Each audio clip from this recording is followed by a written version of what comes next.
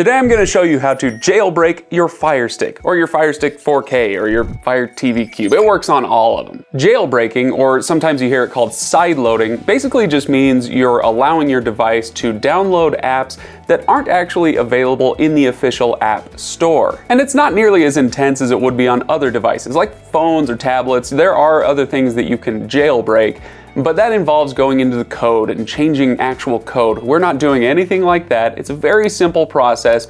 Basically, you just need to know where a few of the settings are to allow you to do that on your Fire TV device. First, let's get into how you actually do this, and then we'll talk a little bit more about what we're doing after I'm done. All right, first things first, when I open up my Fire TV, I need a downloader app. Well, there's a very convenient one called, conveniently, Downloader. So you can go over here to search and you can type it in, or if you've got a remote with the voice search controls, then you just press that button, downloader. And that's exactly what we're looking for. That orange one, it's downloader. Like I said, you can type that in or you can just voice search it, but we need to get downloader. Luckily it's free.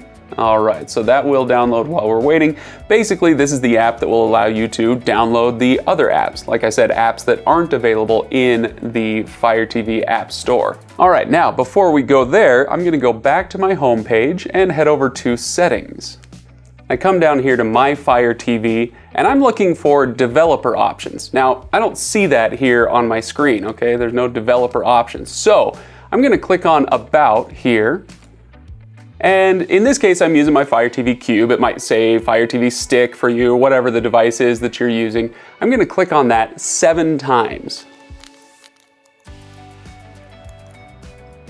Ah, you are already a developer. Okay, it says you're already a developer. And voila, I push, the back button, goes back here to developer options. That has now shown up. So when I click on developer options, we have ADB debugging, that's off. We wanna turn that on.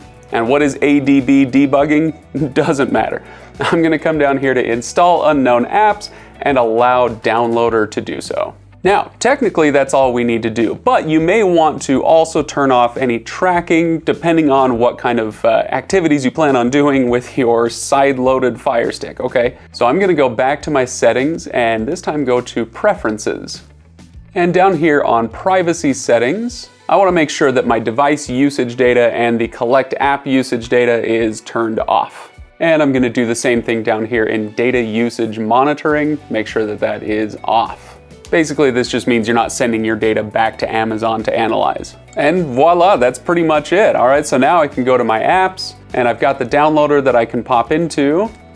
There it is. And if any messages come up, you know, make sure you, give this app the permissions that it needs to access your files, that sort of thing.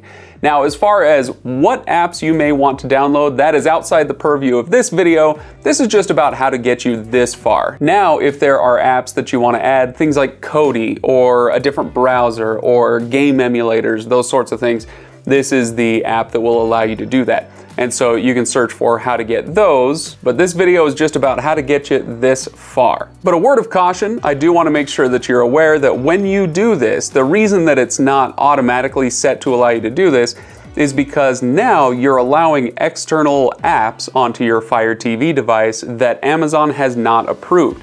There may be different reasons they haven't approved of them. Some of the apps are allowing you to illegally download pirated content. Some apps are, well, they're not checked by any development team at Amazon, so they may be carrying viruses or malware, that sort of thing. So there are definitely some words of caution when it comes to doing something like this, side loading on your Fire Stick, but it is a powerful option if there are apps out there that you want to get, uh, things that you want your Fire Stick to be able to do that it's not able to do straight out of the box. So with that word of caution, be careful, stay safe, and have fun with your side loadable Fire TV device and I will see you next time.